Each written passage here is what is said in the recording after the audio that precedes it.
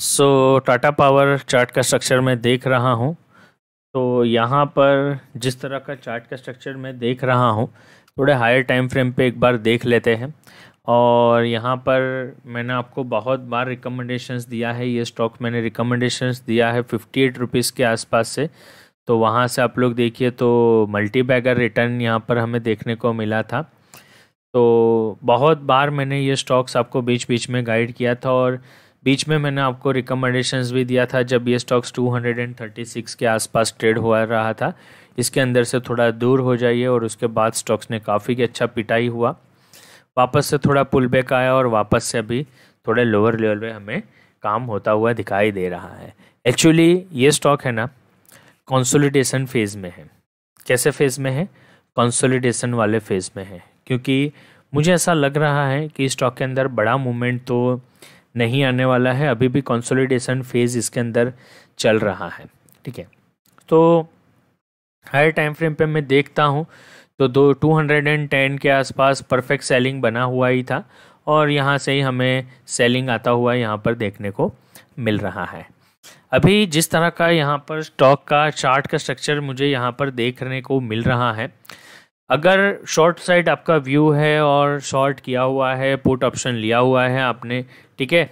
तो मेरे लिए, मैं आपको एक एक स्टॉप लॉस बताता हूँ। ये स्टॉप लॉस का, ये स्टॉप लॉस लगा के आप इसको होल्ड करना है तो कर सकते हो। 210 क्लोजिंग बेसिस के ऊपर आपको एक स्टॉप लॉस मेंटेन करना चाहिए।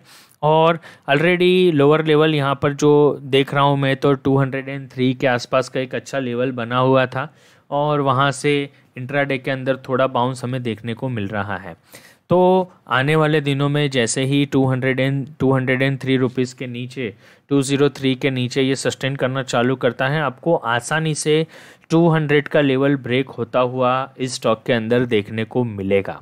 ठीक है? 203 जैसे ही ब्रेक करता है, आपको आसानी से ये स्टॉक्स 200 का लेवल भी ब्रेक करता हुआ आपको देखने को मिलेगा और थोड़ा लंबा टारगेट की अगर मैं बात करता हूँ तो one hundred and ninety seven rupees के आसपास का कुछ यहाँ पर टारगेट देखने को मिल रहा है। तो मेरा मेरा व्यू थोड़ा बैरिश साइड पे है टाटा पावर का।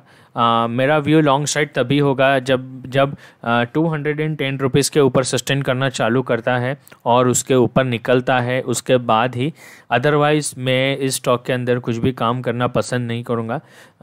मेरा मेक और ब्रेक वाला लेवल है टू हंड्रेड एंड टेन तो उसके ऊपर निकलता है उसके बाद ही किसी को लॉन्ग पोजिशन बनानी है तो आप बना सकते हो और उस टाइम पे स्टॉप लॉस आपको मेंटेन करना चाहिए।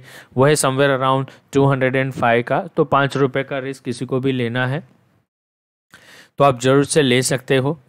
छोटा सा रिस्क है सो कैलकुलेटेड रिस्क लीजिए।